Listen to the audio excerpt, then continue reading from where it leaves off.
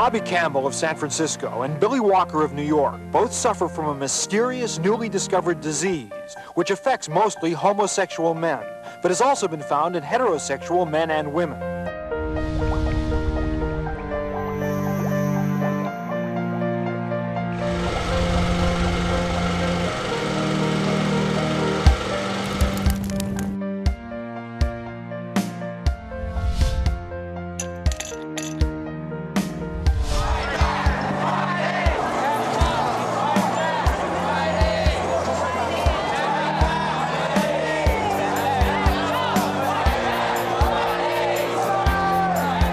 We've declared AIDS public health enemy number one.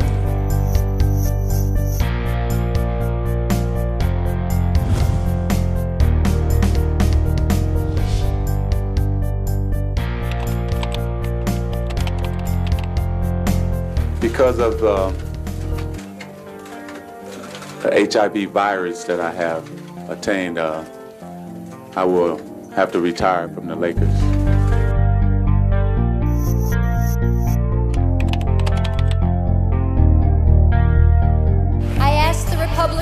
Party to lift the shroud of silence which has been draped over the issue of HIV and AIDS.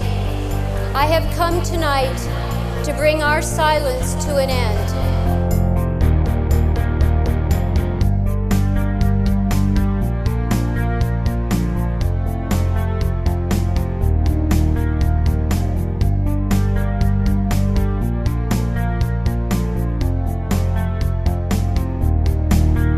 Came as a shock to sports fans, to everyone. I do have AIDS. But experts today agreed. When Greg Louganis was wounded at the 88 Olympics, there was almost no chance the virus could have spread to other swimmers in the pool.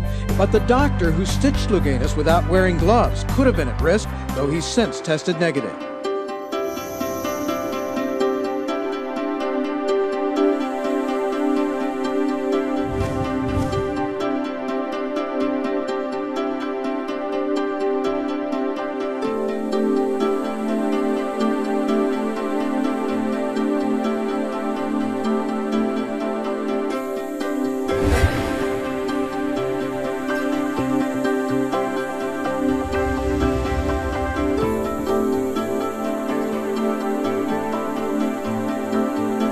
Strong new recommendation today from the Centers for Disease Control.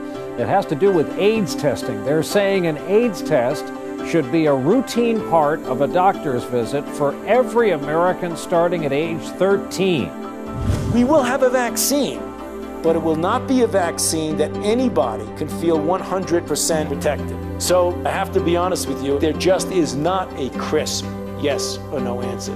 The level of new HIV infections in the United States was higher than had been previously known.